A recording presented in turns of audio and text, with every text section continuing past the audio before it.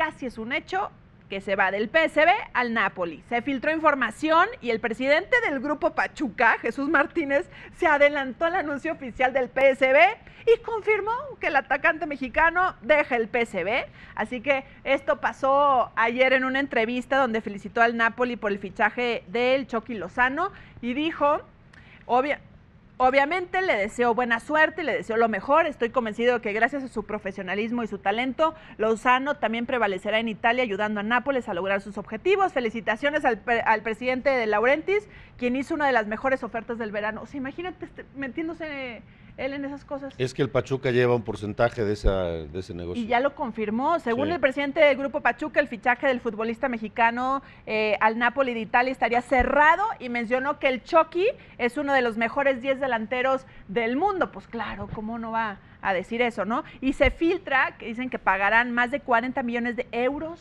por él. ¿Cómo bueno, ves? muy bien, qué bueno por el Chucky.